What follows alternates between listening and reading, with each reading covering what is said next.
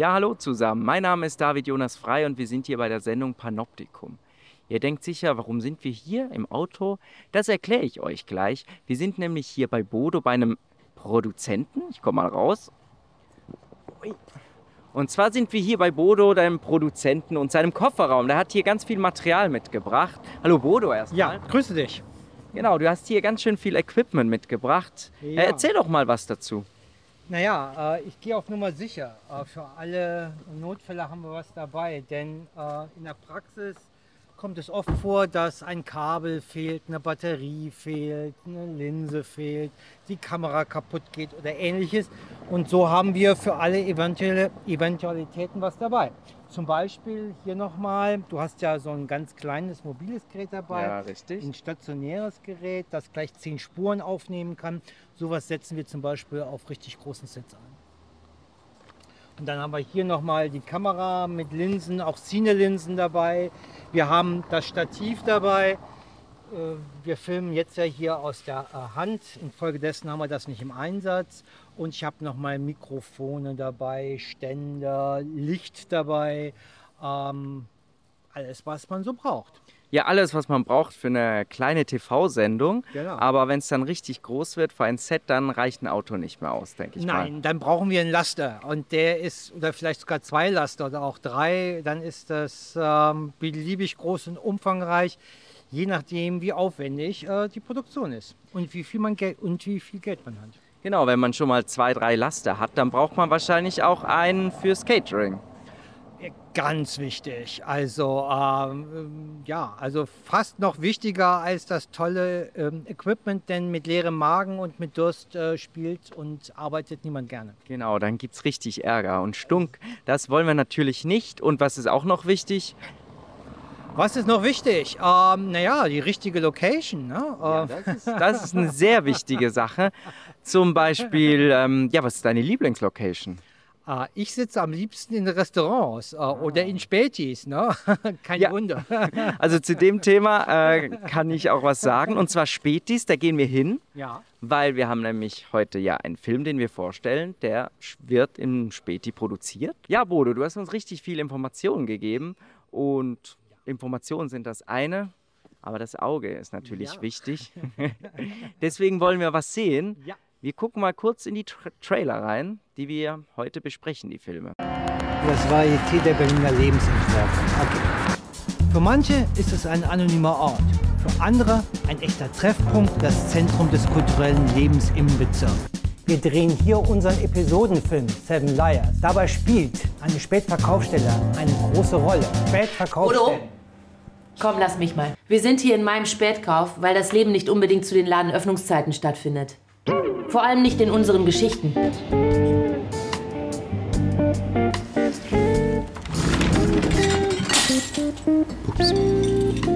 Deep Valley. Ein trockenes Date und Rock'n'Roll-Geständnisse. Yeah. Yeah. Surprise. Yeah.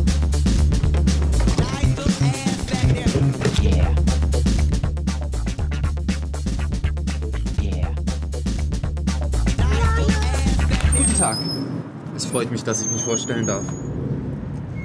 Schön, dass ich mich vorstellen darf. Oh, wo ich mich in zehn Jahren sehe.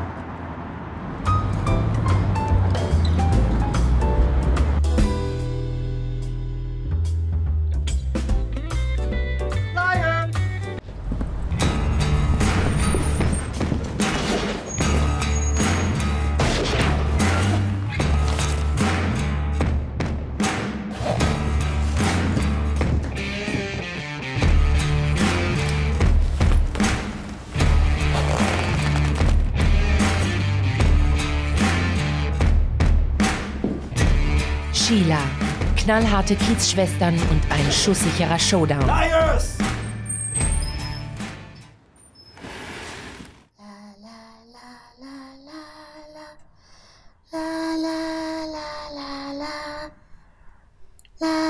Lindgren, eine falsche Astrid und eine astreine Leiche.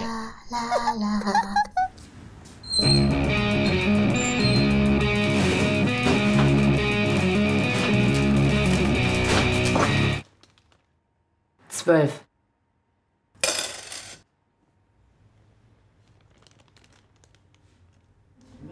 Stimmt so. Ambrosia. Eine göttliche Schwangerschaft und kannibalische Liebe. Du bist mein Floß am Müggelsee. Du bist der goldene Grund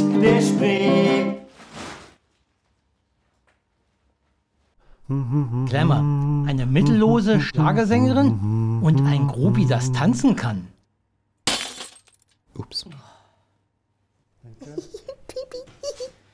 So. Raus jetzt. Reicht mir. Wir brauchen eure Unterstützung. Das gilt auch für dich, Bodo. Wir sind Teil des Kosmos Spätkauf und wir werden davon inspiriert. Sieben Kurzfilme, sieben Schicksale, sieben Filmteams. Und siebenmal dürft ihr raten, was uns jetzt noch fehlt. Bitte helft uns, diese wunderbare Geschichte zu inszenieren. Wir danken euch schon mal vorab.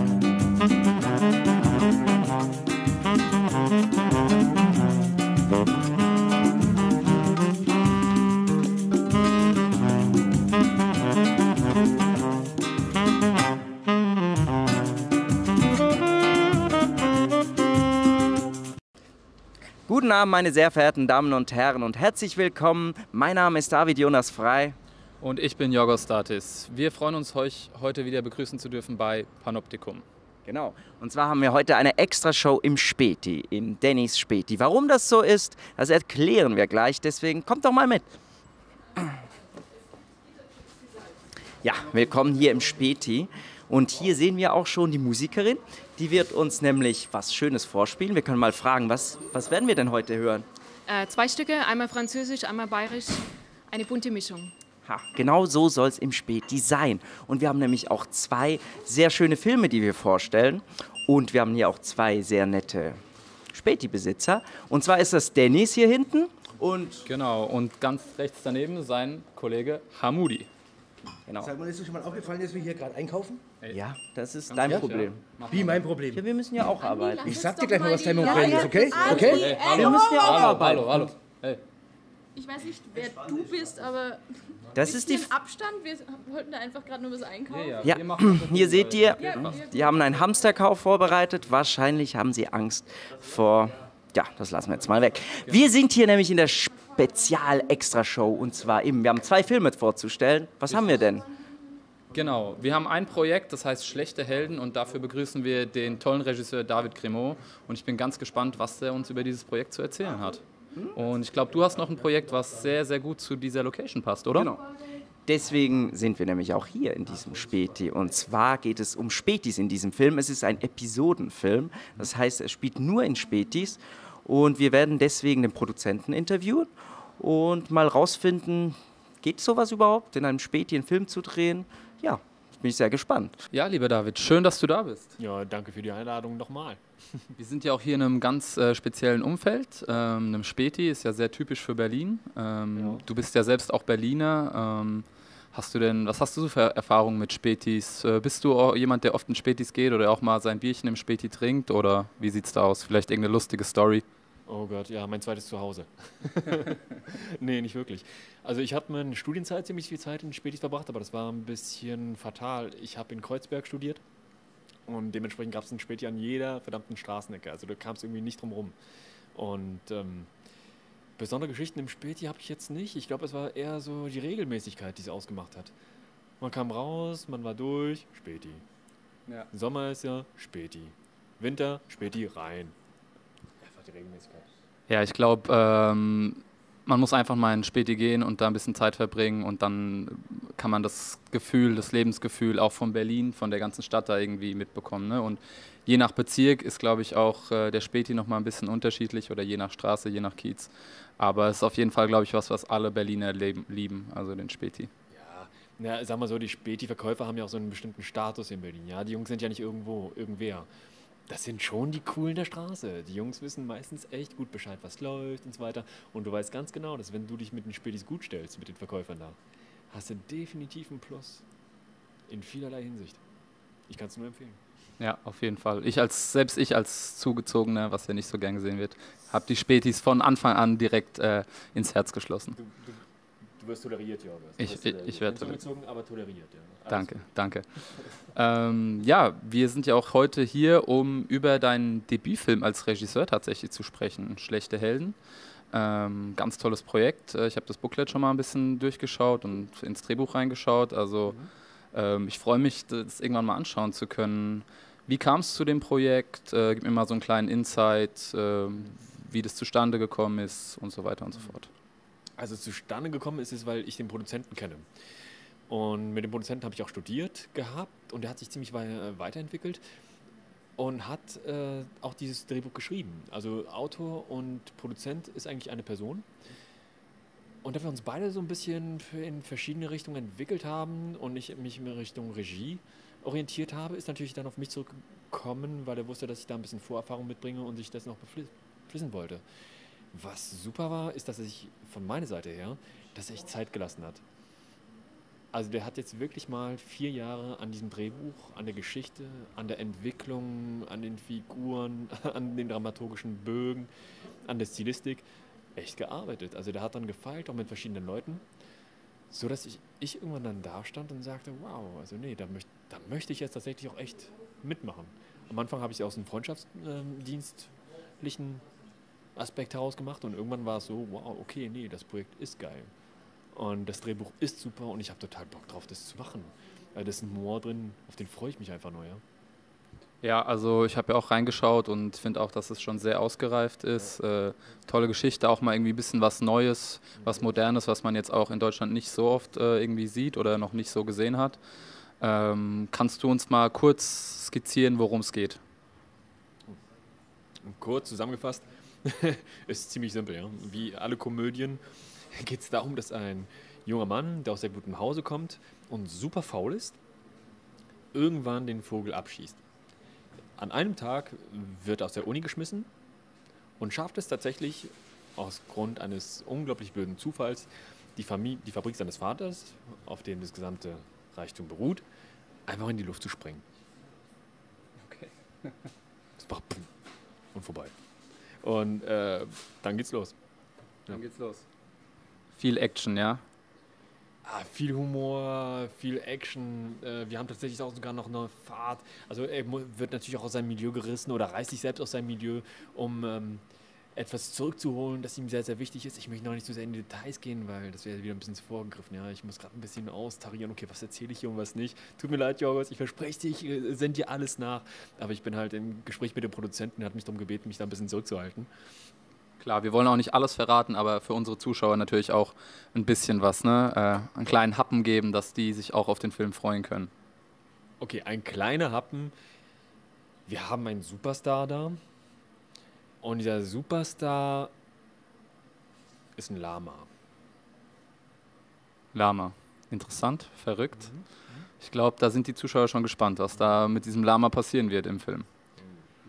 Und ich habe auch gesehen, dass ja relativ viele Rollen äh, zu vergeben sind in diesem Film. Ähm, also viele Schauspieler werden auch benötigt. Wie schaut es da mit dem Cast aus? Ähm, kannst du darüber schon was verraten? Ja, also auch da wiederum ähm, darf ich nicht in Details gehen, aber ich kann dir vielleicht kurz mal ein bisschen was über die Entwicklung erzählen. Gerne. Das Ganze hat gestartet erstmal mit einem kleineren Projekt und hat sich dann aber auch im Laufe des letzten Jahres jetzt völlig weiterentwickelt. Ja? Ähm, wir hatten erstmal angefangen mit sehr Kollegen, die uns sehr freundschaftlich gesinnt sind und der Produzent und Autor hat irgendwann gesagt, nee, du, lass mal, äh, das machen wir jetzt richtig. Und jetzt haben wir es tatsächlich geschafft, einen Cast heranzuholen, der auch in der Filmindustrie oder Filmbranche ziemlich gut positioniert sind. Also wir haben keine unbekannten Menschen tatsächlich jetzt mit dabei, die uns da bei dem Projekt unterstützen vor der Kamera. Ich darf leider nichts erzählen, es tut mir leid, es tut mir leid, aber die Leute, die kommen werden, sind sehr spannend. Sehr, sehr spannend. Ja, da müsst ihr euch zu Hause vor dem Fernseher noch ein bisschen gedulden, aber das äh, werdet ihr alles bald mitbekommen. Ja, wann, wann wird denn überhaupt gedreht und ähm, wie, wie schaut die Planung jetzt noch aus, die weitere? Also, wir sind jetzt schon in Vorbereitungen. Wir haben sogar morgen noch ein Casting. Ähm, dann läuft das Ganze weiter. Wir haben das ganze Zerstückelung äh, des äh, ganzen Projekts mit der Kamera und der Technik und so weiter im Laufe des Monats. Drehbeginn ist für den 5. September angesagt. Okay. Und äh, bis zum 20. September und dann geht die Postproduktion los. Und Postproduktion, glaube ich, ist bis November, Dezember angesagt. Oder? Dann können die Zuschauer nächstes Jahr damit rechnen, ja? Das Projekt soll ja auch auf jeden Fall äh, im Kino erscheinen und das ist ja dein Debüt-Spielfilm. Ähm, ja, wie, wie fühlst du dich da dabei? So, ähm, fühlst du dich gut vorbereitet und ähm, ja, Lust hast du natürlich, sonst würdest du es nicht machen, aber ich sag mal, was, was, was, was, verbindest du damit jetzt? Ist ja auch eine große Sache, so ein äh, Debüt-Spielfilm, sag ich mal. Ja, total. Also ich muss sagen, ich habe einen riesen Vorteil, ist halt, ich kenne den Autor. Haha. Und ich kann so ein bisschen in seinen Kopf reinschauen und wir teilen auch sehr, sehr viel Künstlerisches. Dementsprechend habe ich eine ziemlich klare Idee davon, was da gefordert wird und was gefordert wird, das kenne ich halt, ja. Und dementsprechend fühle ich mich auch schon recht familiär damit, ziemlich gut aufgehoben.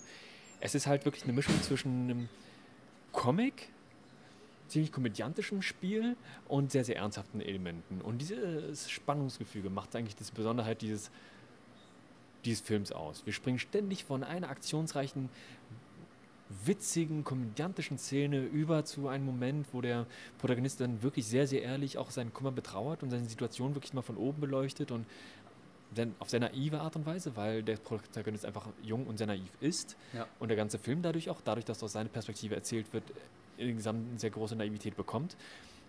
Was ich aber toll finde, weil dadurch eine unglaubliche Dynamik und Spritzigkeit und ähm, ja, Vitalität einfach in dem Film drin ist, schon im Drehbuch drin. Und genau für mich ist die Herausforderung, diese Vitalität, die im Drehbuch drin ist, auch wirklich jedem einzelnen Schauspieler mitzugeben, dass er sie dann auch bestmöglich verkörpert und über die Leinwand unserem Publikum dann vermittelt.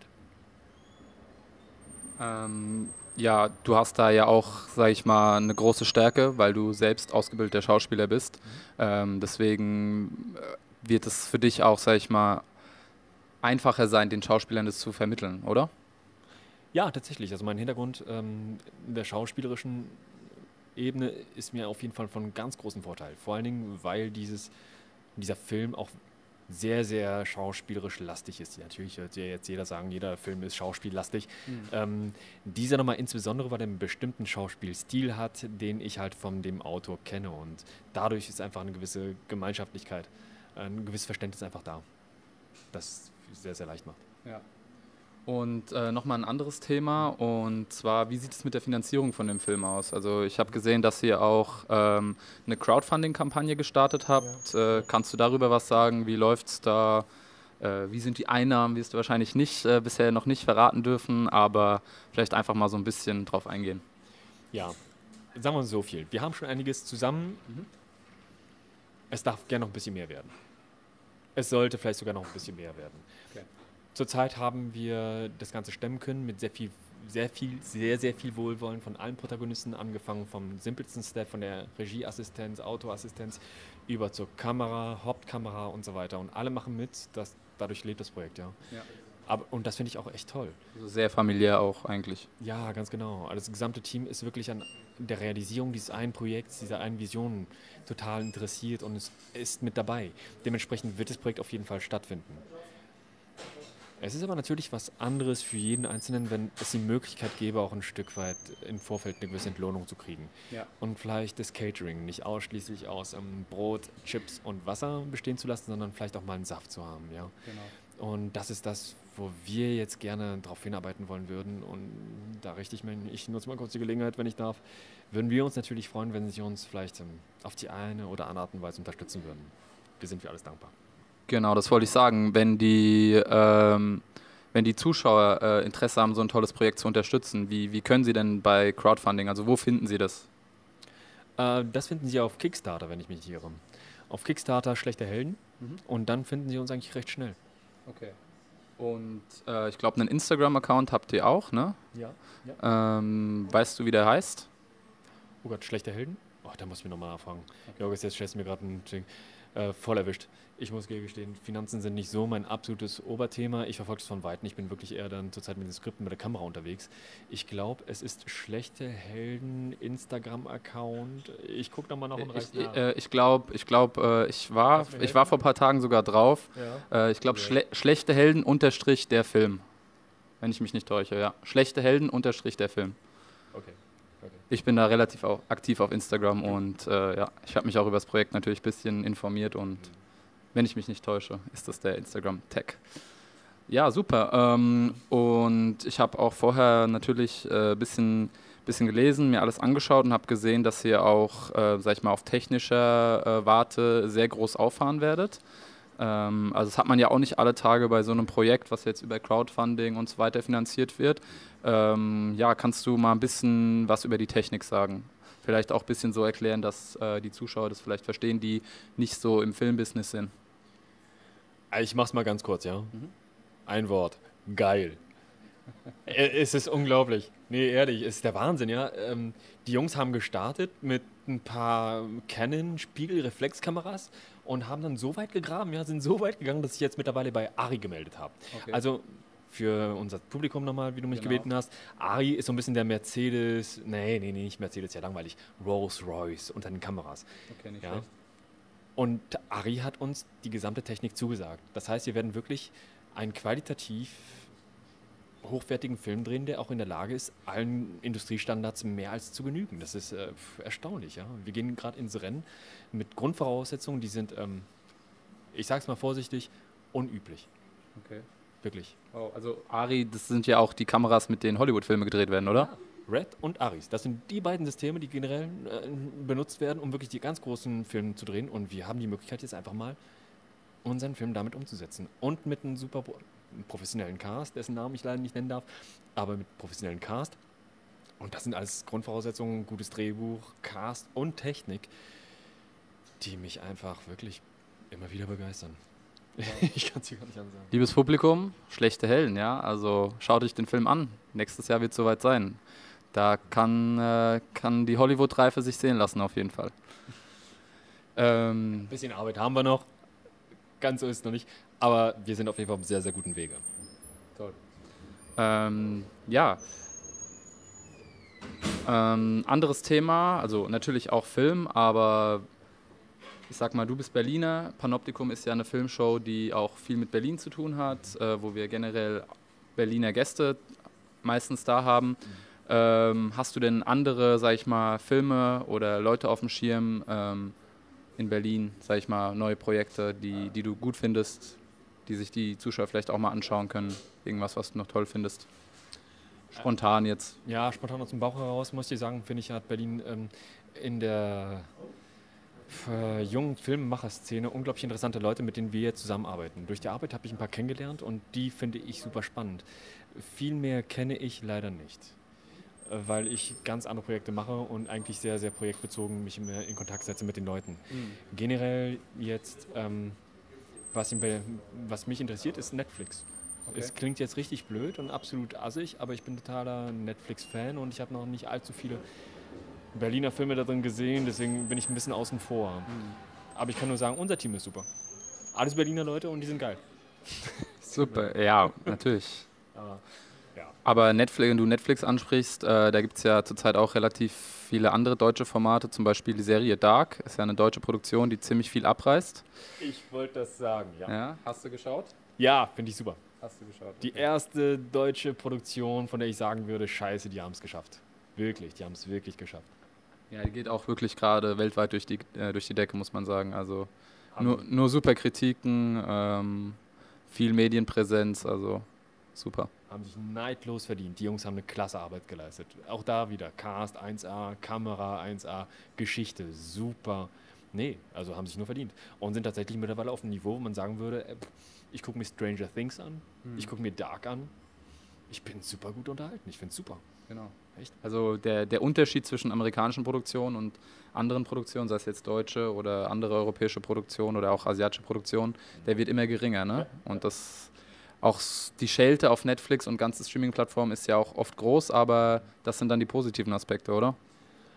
Ja, aber auch zu Recht. Also mein Gott, man wartet auch schon seit Jahren. Wir zahlen ja alle irgendwie ähm, Gebühren für das öffentliche Fernsehen. Man sagt, es ist nötig und so weiter und so fort. Aber wenn man dann als simpler Konsument einfach davor steht ja, und amerikanische Produktion mit deutschen Produktionen vergleicht und nicht weiß, dass das Ganze irgendwie budget-related ist, dann hat man natürlich einfach den Unterschied an Qualität, sag ich mal.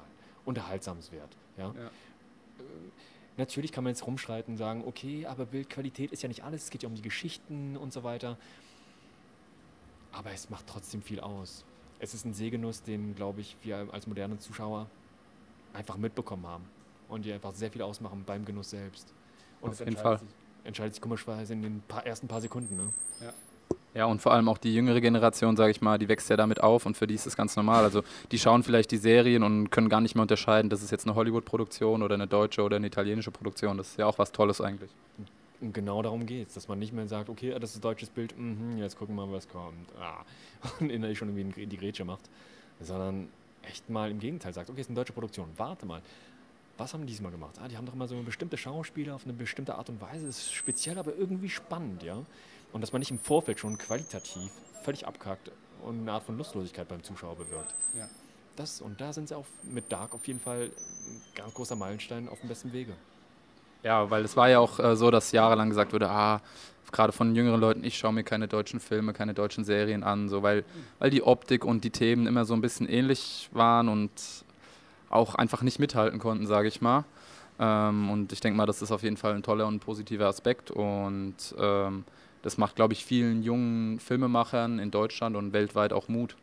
Ähm, und ja, ich denke mal, Schlechte Helden wird auch so ein Projekt sein, was auf jeden Fall da mithalten kann. Und genau. Das ist auf jeden Fall das Ziel. Das war ein bisschen die Idee dahinter und deswegen sind wir auch so unglaublich glücklich über die Ari und den Cast. Ja, wir haben für uns jetzt wirklich alle Grundvoraussetzungen dafür geschaffen, dass wir in der Lage sein werden, tatsächlich mal unser kleines Statement in dieser ganz großen Debatte zu setzen. Aber ich will, man soll den Tag auch nicht von den Abend loben. Ne? Natürlich. Ja, lieber David, ich weiß, du darfst nicht zu viel vorwegnehmen über das Drehbuch und den Inhalt, aber damit wir den Leuten zu Hause auch ein bisschen was geben, ähm, dass sie sich auf den Film und den Inhalt freuen können, sag uns doch nochmal ganz kurz, worum es denn geht. Also kurz zusammengefasst geht es um Finn, unser Hauptprotagonist, junger Haupt- Hauptprotagonist zwischen 18 und 25 Jahre alt, verliert innerhalb von 24 Stunden alles. Ja, kommt aus einem sehr wohlhabenden Hause, wird enterbt. Hat ein paar Freunde, verliert seine Freunde. Und zum, zur Krönung des Ganzen ist, dass sein Lama, das er seit seiner Kindheit besitzt, abgegeben wird und zum Schlachthof, dem Schlachthof verkauft wird. Und, Ges- und er dann nochmal loszieht und versucht sozusagen irgendwie sein Lama, sein armes Lama, das für 1500 Euro, also kein Geld, verkauft worden ist, zu retten. Okay. Lama beim Schlachter klingt äh, brutal und verrückt, aber das überlassen wir jetzt erstmal der Fantasie der Zuschauer und die sollen sich dann einfach den Film anschauen. Ähm, ja, ich habe auch gesehen, dass sehr, sehr viele Drehorte schon, äh, sag ich mal, feststehen. Ähm, Brauchen es ja auch bei so einem, sag ich mal, aufwendigen Drehbuch. Ähm, kannst du uns da vielleicht einen kleinen Insight geben, wo denn so gedreht wird, was ihr da für Locations vielleicht schon habt oder welche ihr noch braucht? Ähm, ja, also unsere Drehorte tatsächlich sind gar nicht so viele, aber dafür sind sie sehr exquisit. Äh, wir haben unglaublich schöne Plätze gefunden. Ein Platz, den ich ziemlich spannend finde, ist ein Lama-Hof in Brandenburg. Da haben wir unser geliebtes Lama, das wir nie wieder hergeben. Lamahof in Brandenburg, wusste ich gar nicht, dass es sowas gibt, aber interessant. Ja, sie, du, glaub mir, es gibt einiges, was wir erfahren haben. durch die- Sehr spannend, sehr spannend. Wie zum Beispiel eine Fabrik in die Luft fliegt und so weiter, haben wir auch alles erfahren, aber nur ganz nebenbei. Ähm, dann haben wir es geschafft, eine Universität für uns gewinnen zu können, dessen Namen ich leider auch nicht nennen darf. Natürlich, das alte Spiel, meine lieben Ja, es kommt alles nach, ich verspreche es Ihnen. Ähm, die uns tatsächlich ihre Lokalitäten, ihre Studienlokalitäten zur Verfügung stellt. Wir haben einen Original-Vorlesungssaal mit historischem Hintergrund, der uns dafür zur Verfügung gestellt werden wird. Ähm, was noch? Ja, und dann haben wir eine ziemlich interessante Fabrik. Eine Fabrik, stillgelassene Fabrik, in der alles Mögliche passieren wird, so auch die Schlachtung unseres Lamas. Nein, das war ein Spaß. ha, Spam. Nein. Ähm, Mit oder ohne Special Effects? mit Special Effects. Ganz vielen Special Effects. Splatter. ist eigentlich doch ein Horror-Movie, keine Komödie. Konnten uns nicht zurückhalten, ja, ging einfach nicht anders. Nein, also kein Splatter, es ist kein Horror-Movie. Ähm, aber es werden sehr viele Special-Effekte tatsächlich zum Tragen kommen. Wir haben einen Special-Effects-Artist, der mit an Bord ist, der das Ganze übernehmen wird. Und ja, in dieser stillgelassenen Fabrik werden wir halt auch drehen. Super. Klingt gut, also wirklich äh, viele große und aufwendige Locations, wie das jetzt klingt. Ähm, ich glaube, da können wir alle gespannt sein. Ja, David, äh, vielen Dank, dass du zu Panoptikum gekommen bist, dass du hier in äh, Dennis Späti gekommen bist äh, und mein Gast warst. Prost erstmal nochmal. Schön war's. Ebenfalls. Und äh, ja, sag doch nochmal für alle, die gerne den Film unterstützen möchten, wo kann man das machen? Wo ist diese Crowdfunding-Kampagne zu finden? Also wir haben Kickstarter und wir haben Start Next. Start Next. Merken Sie erst Start Next. Da haben wir unsere Crowdfunding-Kampagne gerade laufen. Wenn Sie uns unterstützen wollen, sind wir natürlich für alles dankbar. Sehr, sehr dankbar tatsächlich. Ähm, aber Sie können uns auch einfach nur unterstützen. Darf ich weiter? Ja, Ja, also gerne. wenn Sie Lust haben, gehen Sie einfach auf Instagram, schlechte Helden minus der Film, der Film. Da finden Sie uns auch. Und wenn Sie uns einfach abonnieren, kriegen Sie ganz viele aktuelle Informationen über das, was wir gerade machen, über das, was gerade vielleicht nicht funktioniert. Nein, das werden Sie nie herausfinden. Nein, aber da kriegt man nochmal bestimmte Insights, die ähm, vielleicht der anderen Öffentlichkeit nicht vermittelt werden werden. Blick hinter die Kulissen, wie man so schön sagt. Ne? Danke, genau. Blick hinter die Kulissen und ja. Super. Ja, meine lieben Gäste, unterstützen Sie schlechte Helden. Schön, dass Sie bei Panoptikum eingeschaltet haben. Und ähm, das war's von uns, David Grimaud und mir im Späti. Dankeschön, Jorgos Statis und David Grimaud. Euch noch ein schönes Gespräch und wir gehen jetzt weiter im Späti und zwar ein sehr wichtiges Thema. Wir fragen mal den Besitzer Dennis und zwar gibt es eine neue Regelung, also so neu ist sie nicht, aber im Moment wollen sie die kippen und zwar dürfen die Spätis sonntags nicht mehr aufmachen oder nur noch unter strengen Auflagen. Wir fragen mal Dennis, was hältst du denn davon? Ja, ist scheiße, dass man sonntags nicht mehr aufmachen darf. Ja, super scheiße, weil das ist ja Umsatz Eigentlich der umsatzstärkste Tag. Genau. Ja.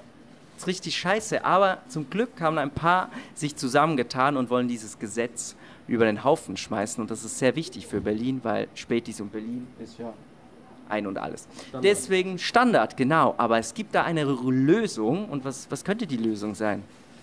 Ich würde sagen Revolution. Ja, ich finde auch. Revolution, was hält ihr? Was hält ihr dir da von Revolution? Ja, klar. Ja, dann lasst uns doch mal was hö- anhören von der Melanie Hierhammer, Revolution.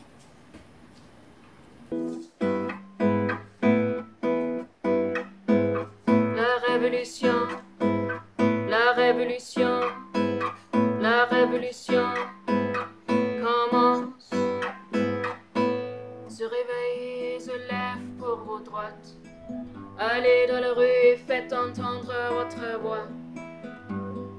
La justice, la humanité et l'arrogance doivent casser.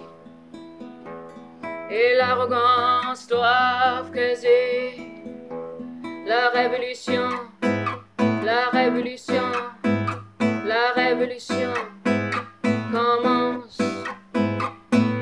Arrêtez de vous mentir et de vous cacher derrière vos excuses. Laissez-le passer derrière vous avec toutes les luttes du pouvoir. La révolution, la révolution, la révolution commence.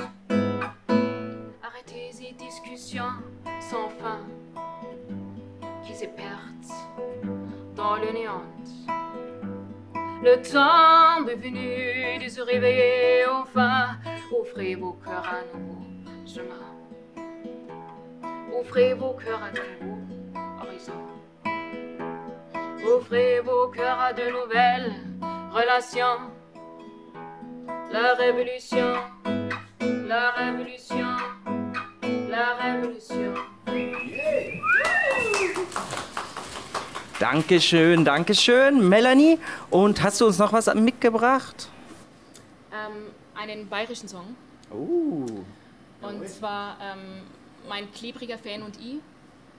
Genau, also ich löse gleich auf. Es handelt sich um eine Schnecke, äh, der ich auf einem Konzert, auf einem Gig begegnet bin und der hat dann irgendwann angefangen mit mir zu kommunizieren und ja, daraus ist dieser Song entstanden.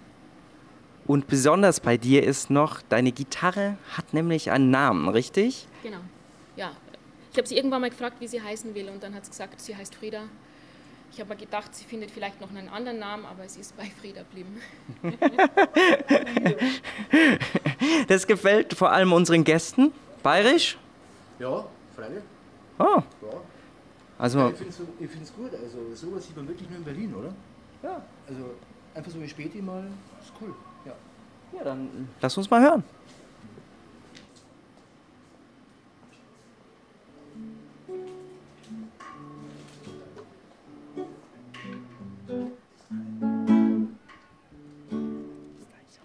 Unter mir hast der nackerte Schneck auf am moosbedeckten steinigen Fleck. Vier Stufen hat schon bezwungen und meine Pore erklommen, sie schleimt sie nach zu mir. Neben mein halbe Bier, denn jeder weiß, dass Schnecken sind ganz heiß. Aufs Bier wie ein wild gewordenes Tier. Ich sing von der großen weiten Welt und sie erzählt von ihrem verlorenen Schneckenzeit. Das hat's auf dem Weg hierher verloren, daher glaub ich jetzt, alles ist nachwärts geboren. Schon langsam wird's ein bisschen neblig, ich meine erheblich klebrig, mein klebriger Fan und ich waren im Nu, wer du, sie sperrt ihre Lauscher ab, mit mir zur eher im Gleichschritt hin und her. Sogar beim Refrain von mit zum Summen, eher mit zum Brummer, denn Schnecken müssen sich eine Stunde vorher einsingen, bevor sie ihre Stimme zum Klingen bringen. Ganz zärtlich liebe Töne kommen also hervor aus ihrem kleinen Stimmlabor. Irgendwann geht mein Gicht dem Ende zu. Mein klebriger Fan sagt ihm nur, ich will nicht weg von dir und deinem leckeren Bier. Ich höre dir weiterhin zu und begleite dich bei deiner Tournee um die Welt, auch ohne mein Schneckenzelt, auch ohne mein Schneckenzelt. Sauber stehen wir da, mein klebriger Fan und ich. Was soll ich jetzt noch machen? Mir ist gewiss nicht mehr zum Lachen. Gebe meinem Fan ein Autogramm von mir und mein restliches Bier. Für Notfälle zum Beispiel Liebeskummer, auch noch meine Handynummer. Zum Schluss kriege ich auch noch einen klebrigen Schmatzer auf meine Wange. Uah, mir wird ganz bange. Dann starte ich schon zum nächsten Auftritt los, da muss ich ins Nachbardorf bloß. Und wer sitzt schon wieder in der ersten Reihe? Mein klebriger Fan, oh wei. Oh, mei.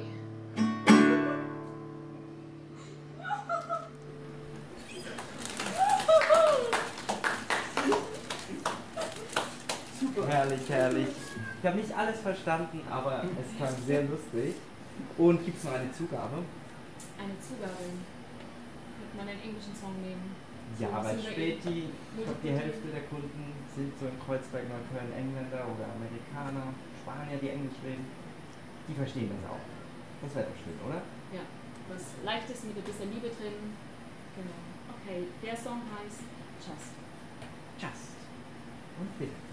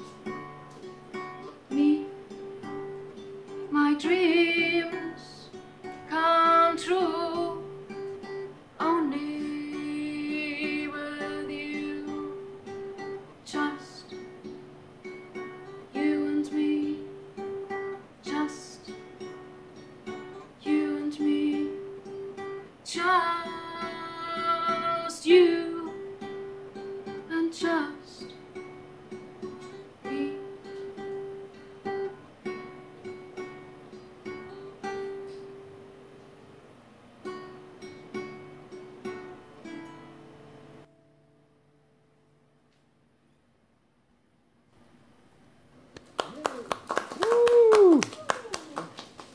Ja, danke schön, danke schön, Melanie.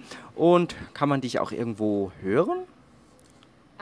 Dene- demnächst im Terzo Mondo am 20. September, da dann am Piano mit einer tollen Schauspielerin zusammen, wird eine Lesung, die ein etwas beflügelt ist.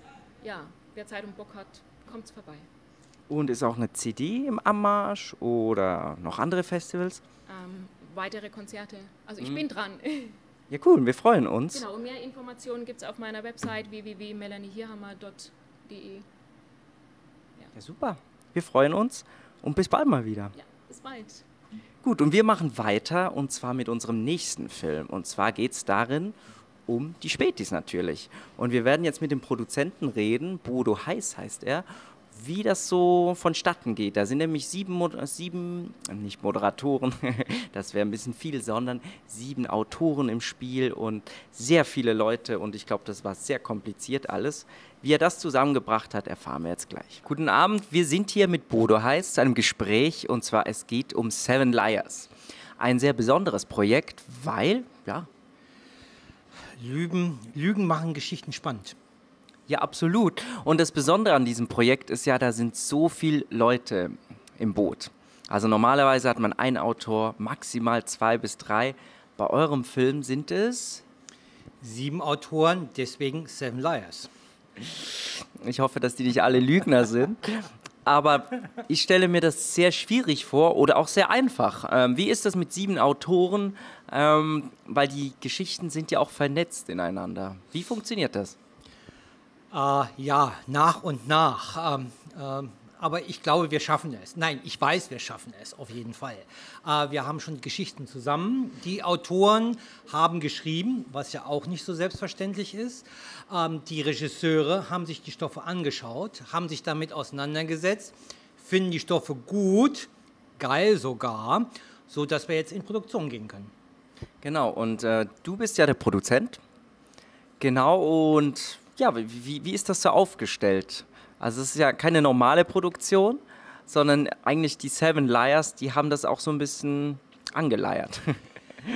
Ja, das war ein Autorenkollektiv, das sich über ein Jahr mit dieser Geschichte beschäftigt hat. Ähm, sie haben erstmal allein angefangen, die Geschichten zu schreiben, waren sich aber schon von vornherein darüber im Klaren, dass sie nachher einen Episodenfilm produzieren wollten. Deswegen wurden die Geschichten schon etwas aufeinander zugeschrieben, aber dass es von Anfang an als Episodenfilm konzipiert gewesen äh, wäre, war nicht so. Deswegen musste da noch einiges an, an Arbeit investiert werden. ja, also da gab es so einen richtigen Writers Room.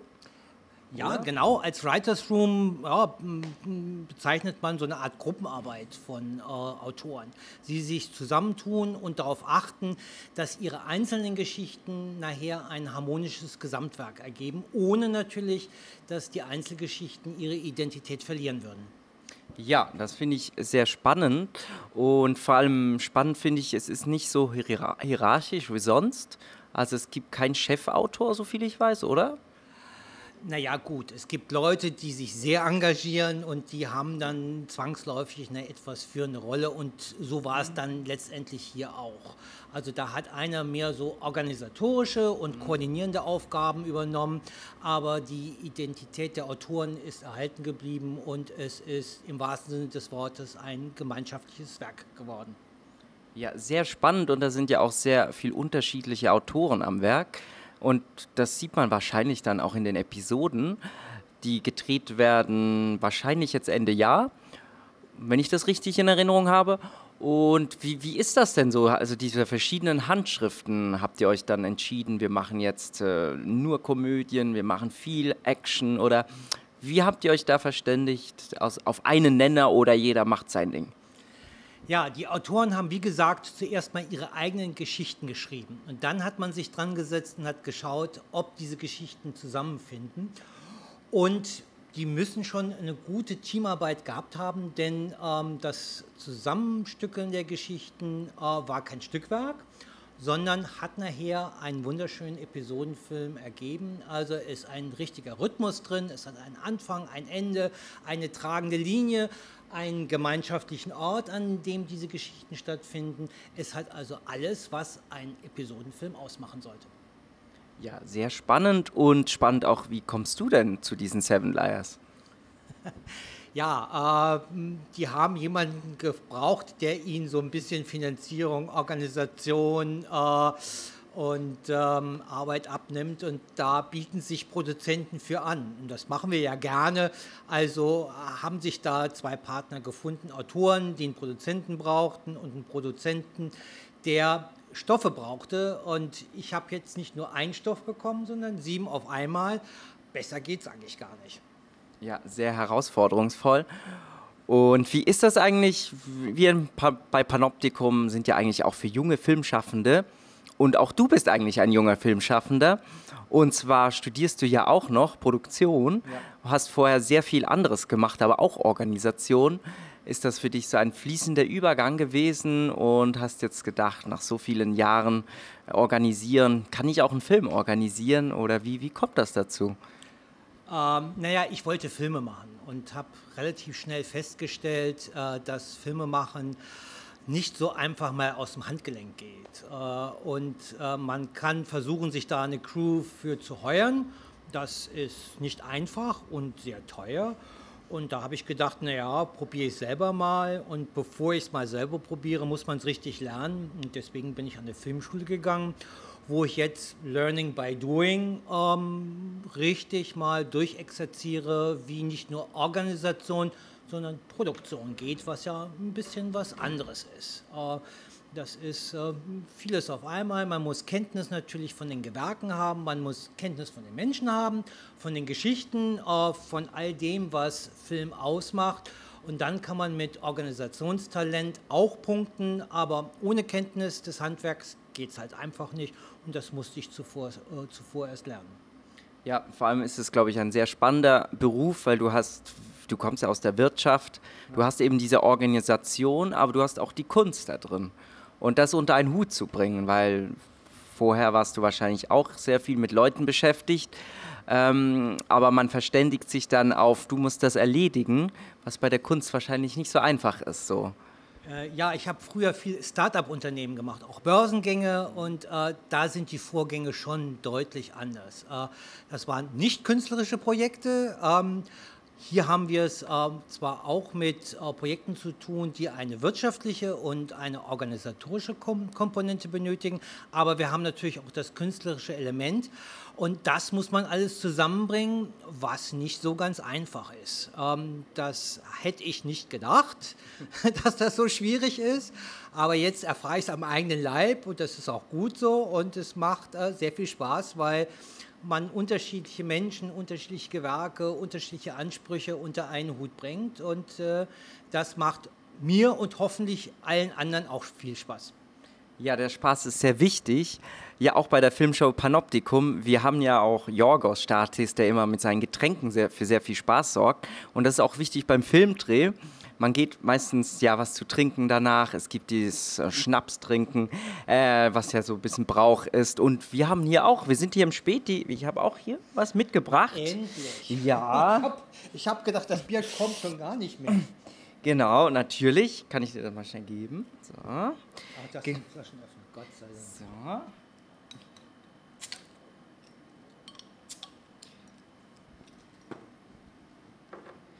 Ja, dann lass uns doch mal anstoßen. Prost auf dich, Prost auf, auf dich, euch, auf Prost euch. auf das Projekt. Ah, herrlich. Und ja, genau, also wir habt ein großes Team. Du musst ein großes Team zusammenzusammeln. Wie, was ist dein Lieblingsdepartment oder welches, das ist vielleicht ein bisschen gemein. Wer sind die Handsamen? Wer sind die Krawallmacher? Für gewöhnlicherweise sind immer die, ähm, die, die, ähm, na, die Regisseure, mhm. die Krawallmacher, äh, die ähm, einen zugegebenermaßen natürlich berufsmäßig ähm, definierten künstlerischen Anspruch haben äh, und die dann oftmals Geschichten gerne komplett umschreiben, komplett das Budget sprengen, komplett sich verwirklichen, komplett manchmal sich mit anderen nicht verstehen. Aber das sind eher Ausnahmen. Äh, bei dem Projekt habe ich den Eindruck, als wollten alle den Erfolg äh, und damit auch natürlich den, Kom den Kompromiss und auch den künstlerischen Kompromiss natürlich. Ja, das ist sehr wichtig, dass alle am gleichen Strang ziehen. Und wie, was wird das denn für ein Film? Äh, ja. Ähm, es wird etwas typisch Berlinerisches natürlich. Klar, wir sind hier im Späti, Berlinerischer wird es also kaum mehr. Und es ist natürlich auch die gesamte Bandbreite der Berliner Geschichten. Äh, wir haben Liebe, wir haben äh, Rauschmittel, wir haben das Arbeitsamt, äh, wir haben Musik. Äh, es ist komplett alles dabei, alles äh, mit einem Berliner Flair und äh, einem typisch Berliner Hintergrund. Hier im Hintergrund ähm, sind unsere ja. Leute un, un unterwegs. Die krabbeln hier gerade unter den Kameras durch. Ähm, leider können wir das nicht zeigen.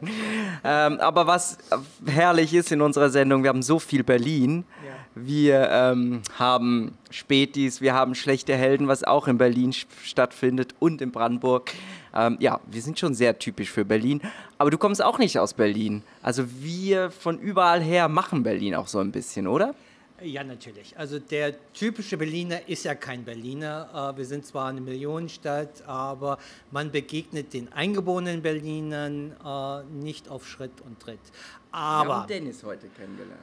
Natürlich, es gibt, es gibt die eingeborenen Berliner natürlich auch, aber die Berliner sind sehr tolerant und integrieren uns ziemlich schnell. Also ich brauche keinen brandenburgisch-berlinerischen Dialekt zu lernen, um mich hier zu bewegen, sondern ich komme mit meinen Macken und äh, den Macken aller anderen also ganz gut zurecht und die mit mir.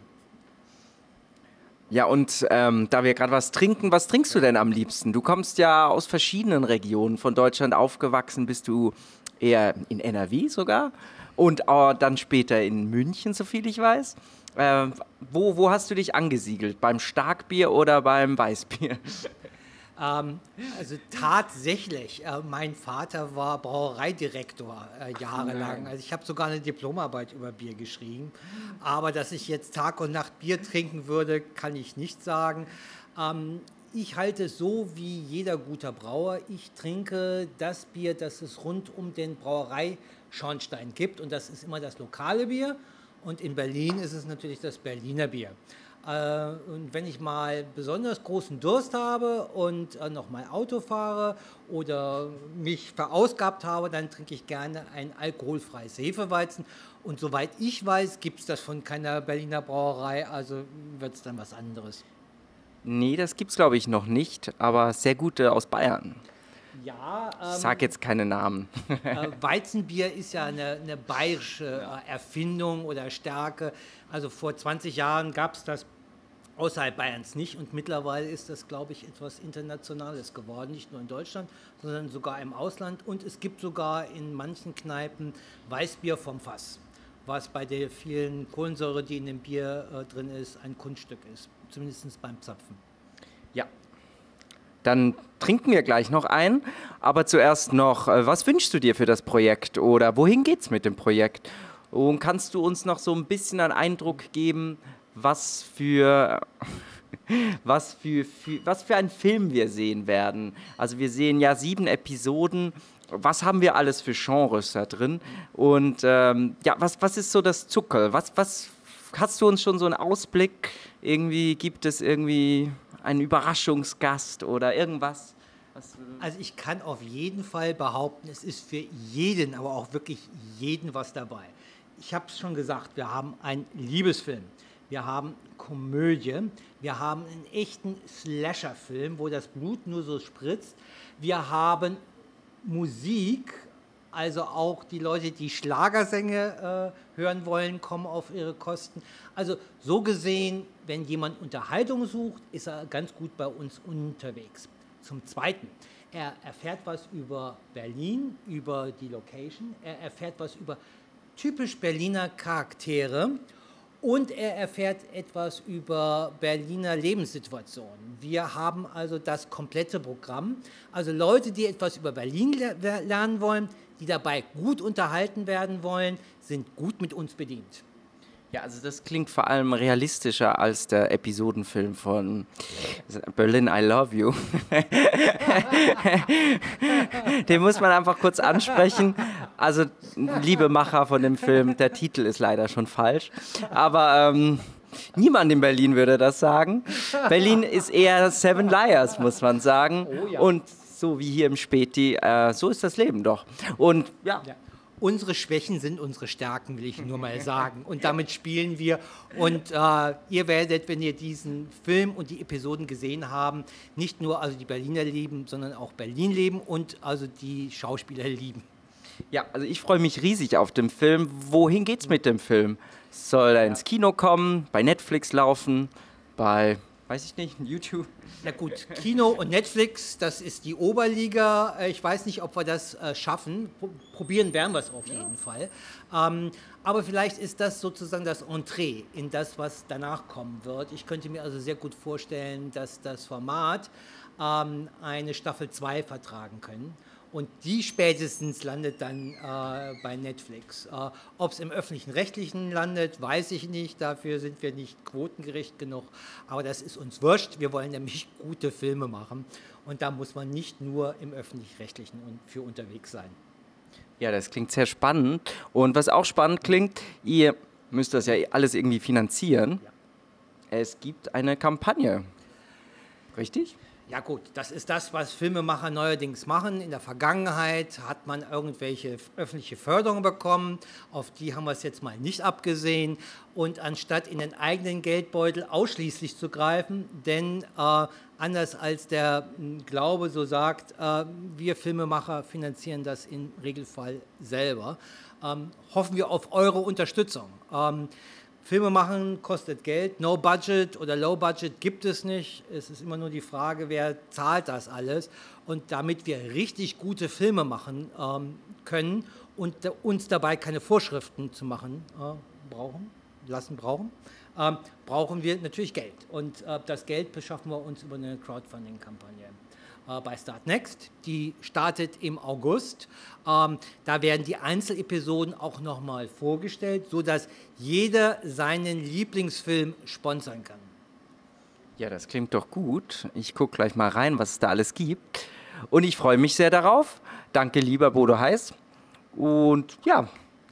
Ich wollte noch was sagen. Seven Liars googeln, da findet ihr alles über uns, da findet ihr die Webseite, da findet ihr Filme von uns und da findet ihr auch die Start Next Kampagne. Ja, danke schön. Und ihr habt auch Instagram, habe ich gehört.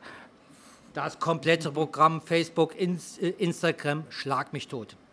Ja, herrlich. Ähm, ja, dann danke schön. Ich war Und gerne da. ja, gerne. Stoßen wir an. Ja, liebe Zuschauer, das war's mal wieder mit einer tollen Folge Panoptikum. Dieses Mal aus dem Späti bei Dennis. Bester Mann, danke nochmal dafür. Kein Problem. Und ja, sag mal, David, was ist eigentlich mit Katrin? Äh, wo ist sie denn? Geh mal her. Katrin.